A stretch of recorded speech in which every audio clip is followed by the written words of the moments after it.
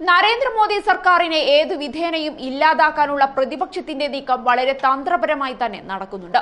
വീണ്ടും വീണ്ടുമുള്ള B J പിയുടെ ഭരണം പ്രതിപക്ഷത്തിന് കണ്ടു നിൽക്കാൻ പോലും പറ്റുന്നില്ല. നരേന്ദ്രമോദി സർക്കാരിനെ സമ്മർദ്ദത്തിലാക്കാൻ ദേശീയ തലത്തിൽ പ്രക്ഷോഭത്തിന് നീക്കങ്ങളും നടക്കുന്നുണ്ട്. തിടുക്കത്തിൽ ചില ഫോൺ വിളികൾ പ്രതിപക്ഷ പാർട്ടി നേതാക്കൾക്കിടയിൽ നടക്കുന്നുവെന്ന് ബി ജെ പി മണത്തറിഞ്ഞിട്ടുണ്ട്. ചുക്കാൻ പിടിക്കുന്നത് തെലങ്കാന മുഖ്യമന്ത്രി കെ ചന്ദ്രശേഖര റാവു ആണ് ബി ജെ പി ഇതര സംസ്ഥാന സർക്കാരുകൾക്ക് നേതൃത്വം നൽകുന്ന പാർട്ടികളെയും നേതാക്കളെയുമാണ് കെ സി ആർ ബന്ധപ്പെടുന്നത്. ദേശീയ ശ്രദ്ധയാകർഷിച്ച സമരത്തിന് ഒരു കാലത്ത് ചുക്കാൻ പിടിച്ച കെ സി ആറിന്റെ നീക്കം ബി ജെ പി നിസ്സാരമായി കാണുന്നില്ല. തിങ്കളാഴ്ച ആരംഭിക്കുന്ന പാർലമെന്റ് സമ്മേളനത്തിൽ പ്രതിഷേധത്തിന് തിരികൊളുത്തുമെന്നാണ് റിപ്പോർട്ടുകൾ. പാർലമെന്റിൽ ഉപയോഗിക്കുന്ന വാക്കുകളുടെയും പ്രവർത്തനങ്ങളുടെയും കാര്യത്തിൽ മോദി സർക്കാർ നിയന്ത്രണം കൊണ്ടുവന്നിട്ടുണ്ട്. സമാന മനസ്കരായ നേതാക്കളെ ഒരു കുടക്കീഴിൽ കൊണ്ടുവരിക എന്ന ലക്ഷ്യത്തോടെയാണ് കെ സി ആറിന്റെ രഹസ്യ നീക്കങ്ങൾ. പാർലമെന്റിന്റെ മഴക്കാല സമ്മേളനം തിങ്കളാഴ്ച മുതൽ ആരംഭിക്കാനിരിക്കെയാണ് കെ സി ആർ പ്രതിപക്ഷ നേതാക്കളുമായി ബന്ധപ്പെടുന്നത്. നരേന്ദ്രമോദി സർക്കാരിന്റെ നയങ്ങളെ ദേശീയ തലത്തിൽ തുറന്നു കാട്ടാനും പ്രതിഷേധം ശക്തമാക്കാനുമാണ് പ്രതിപക്ഷം ആലോചിക്കുന്നത്. തൃണമൂൽ കോൺഗ്രസ് അധ്യക്ഷയും ബംഗാൾ മുഖ്യമന്ത്രിയുമായ Mamata Banerjee A A P കൺവീനറും Delhi മുഖ്യമന്ത്രിയുമായ അരവിന്ദ് കെജ്രിവാൾ തമിഴ്നാട് മുഖ്യമന്ത്രിയും ഡി എം കെ അധ്യക്ഷനുമായ M K Stalin N C P ദേശീയ അധ്യക്ഷൻ ശരത് പവാർ ബീഹാർ പ്രതിപക്ഷ നേതാവ് തേജസ്വി യാദവ് യു പി പ്രതിപക്ഷ നേതാവ് അഖിലേഷ് യാദവ് എന്നിവരുമായി കെ സി ആർ വെള്ളിയാഴ്ച ഫോണിൽ സംസാരിച്ചിരുന്നു.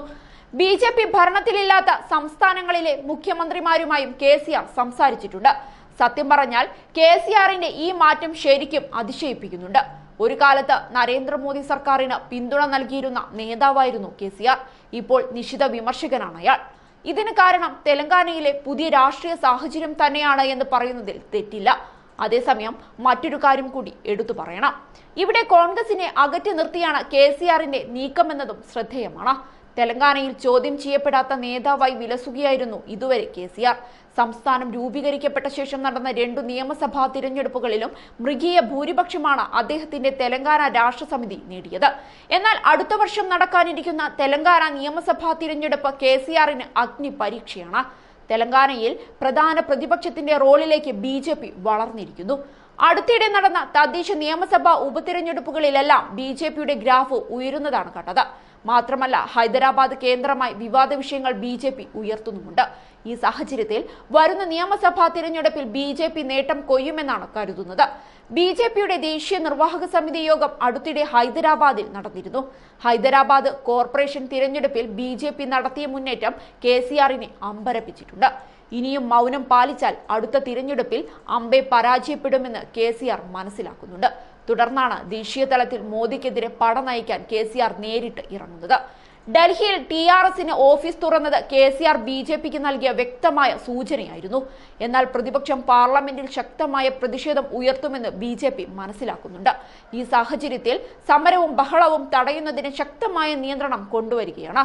പാർലമെന്റിൽ ഉപയോഗിക്കാൻ പാടില്ലാത്ത വാക്കുകളുടെ പട്ടിക കഴിഞ്ഞ ദിവസം പുറത്തിറക്കിയിരുന്നു. കൂടാതെ പ്ലക്കാർഡ് കൊണ്ടുവരരുത് ലഘുലേഖ വിതരണത്തിന് മുൻകൂർ അനുമതി വേണം തുടങ്ങിയ നിയന്ത്രണങ്ങളും കൊണ്ടുവന്നിട്ടുണ്ട്.